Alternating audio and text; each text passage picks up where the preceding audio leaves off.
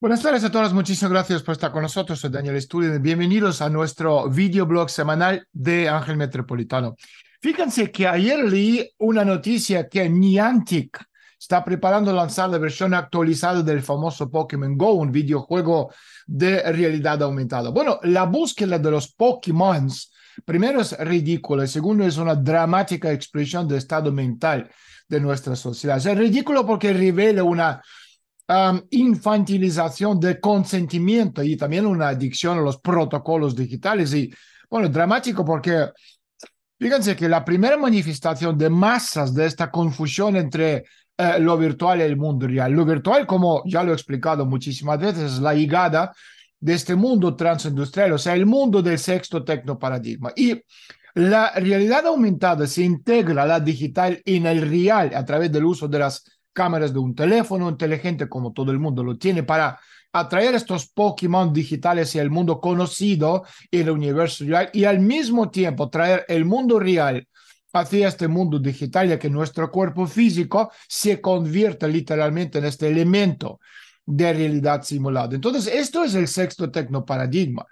O se podría decir que con el Pokémon el juego no es realmente dañino, que unos pocos expediciones a lo virtual son solo una parte de esta diversión y el buen rollito que tenemos o sentimos o experimentamos hoy en día y a cualquier niño o un adulto le encanta jugar tres o cuatro o cinco horas al día este estúpido videojuego. O sea, en primer lugar, hay que decir que tal entretenimiento en momentos en que estamos amenazados por el caos económico, la guerra, es una demostración de inmadurez. Y por otra parte, es fácil imaginar en la línea de este videojuego instintivo como Manhunt o Call of Duty que un Kalashnikov sustituiría a la bola roja y que un enemigo, entre comillas, que será musulmán o ruso un antivacunas, se convertiría en un blanco.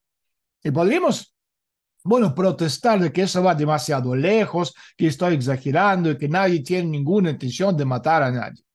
Los videojuegos violentos demuestran todo lo contrario. Son un producto de técnicas desarrolladas para las tropas de choque del ejército estadounidense con el fin de que desinhibir reclutas jóvenes que tienen, bueno, reparos en disparar a matar. Entonces, se movió desde este ámbito militar a toda la sociedad y una escala masiva. O sea, es fácil ver cómo una realidad aumentada de violencia podría ser aún muchísimo más eficaz. Y ahora, Jugar implica matar una zona gris entre lo virtual y lo real, pero bueno, reflejo mecánico donde la compasión humana no tiene lugar y ninguna posibilidad. O sea, dejamos al lado la parte de los, de los videojuegos. Lo que o los que siguen pensando que se trata de un videojuego de entretenimiento, ahondamos un poco en la parte conceptual. O sea, Pokémon Go fue creada por Niantic, cuyo CEO, John Hank, fueron los fundadores de Keyhole. Keyhole es una herramienta de seguimiento de hashtags en tiempo real para los especialistas de marketing que utiliza tanto Twitter como Instagram como Facebook se fíjense que Google tomó el control de Niantic y de Keyhole y el anterior CEO de Google, Eric Schmidt, estaba gestionando toda la parte digital de la campaña de Hillary Clinton a partir de la startup que se llamaba Groundwork. Y por otra parte, cuando Hillary Clinton fue secretaria de Estado desde el año 2009 hasta el año 2013 en la administración de Barack Obama, los administradores de Google se reunieron con funcionarios de la Casa Blanca cientos Repito, cientos de veces. Bueno, volvemos a la parte de Pokémon Go. En un mundo pedestre de individuos normales, entre comillas, o quienes se supone que son normales, son capaces de pasar horas y horas y horas y horas y horas, a veces incluso a riesgo de sus vidas, capturando estos Pikachu, lo que confirma que la frontera natural está ahora entre la virtualidad y la realidad, entre lo falso y verdadero, la barrera entre la vida y su negación se ha suprimido.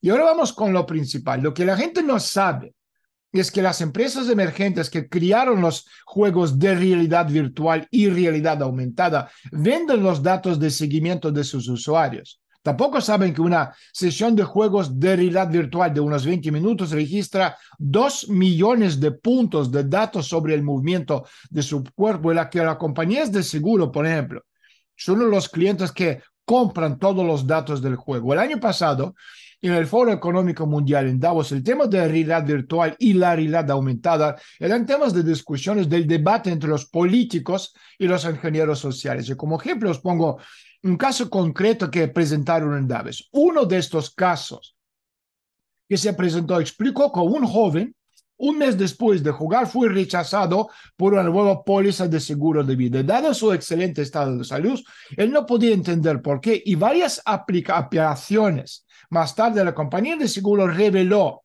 que los datos de seguimiento de esta persona del juego del laberinto de realidad virtual revelaron patrones del movimiento de comportamiento que a menudo se ven en las personas en las primeras etapas de la demencia. O sea, más tarde, la hermana de este hombre que no había jugado el juego del laberinto de realidad virtual también fue rechazada por pólizas de seguro de vida y los cuidados a largo plazo, ya que la demencia tiende a ser hereditaria.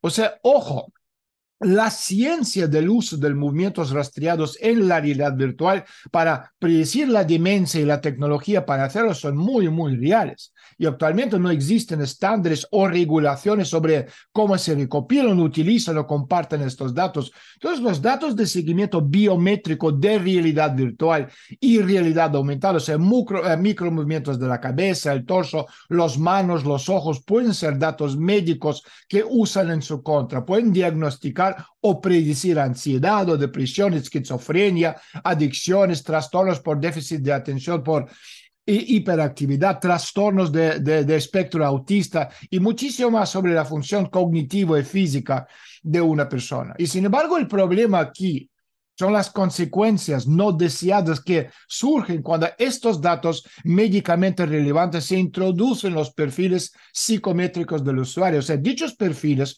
pueden comenzar como bueno, relativamente inofensivo, simplemente prediciendo cuándo alguien podría estar preparándose para, por ejemplo, comprar un coche nuevo, etc. Y sin embargo, los perfiles psicográficos en expansión con ah, insumos médicos podrían dejar a las personas vulnerables a tipo de escenarios descritos anteriormente, que además ya están en marcha como plan, digamos, de choque de esta élite en las reuniones de Davos. Entonces, en un estudio en que los investigadores recuperaron datos en 95 puntos de tiempo en la realidad virtual, pudieron identificar a una persona con 90% de precisión. Y igual que el código postal, la dirección IP, la huellas de voz, los datos de seguimiento de realidad virtual y también realidad aumentada deben considerarse como información de identificación personal potencial porque se puede usar para distinguir o incluso rastrear la identidad de un individuo, ya sea solo cuando se combina con otros datos de información personal o información identificativa. Y esto es un problema al que los profesionales del mundo de la investigación médica han estado lidiando durante décadas. O sea, los investigadores han demostrado que la información médica y de salud, como secuencia de ADN, por ejemplo, registros médicos, datos de investigación de la salud, despojados de nombres y otra información de identificación, se puede rastrear hasta llegar a la persona exacta mediante la combinación de estos datos con otras fuentes de datos disponibles públicamente. Esto también es una parte muy importante de lo que estamos viendo este acceso llegada al sexto tecnoparadigma. Ahora, sin embargo, a diferencia de los datos médicos, los datos recuperados por la tecnología de realidad virtual no están regulados actualmente y ninguna entidad externa supervisa cómo se recopilan o usan y también comparten.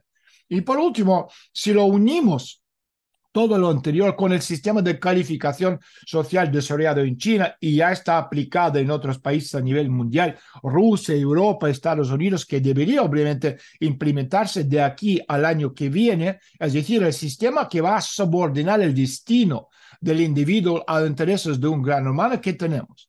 Tenemos el sistema de calificación social. Un ciudadano se identifica en su integridad de la propiedad sociales, psicológicas, biológicas de un individuo y una cascada de estas calificaciones de grupos y colectivos como un sistema de gestión integral. Y con todo lo que sabemos sobre Bill Gates, las vacunas, la nanotecnología con que nos quieren indicar, deberíamos pensar muy bien y mucho sobre el destino que nos espera. Con esto terminamos, Daniel Studio, en nombre de nuestro programa y nuestro canal Gen Metropolitano. Gracias y hasta la semana próxima. Adiós.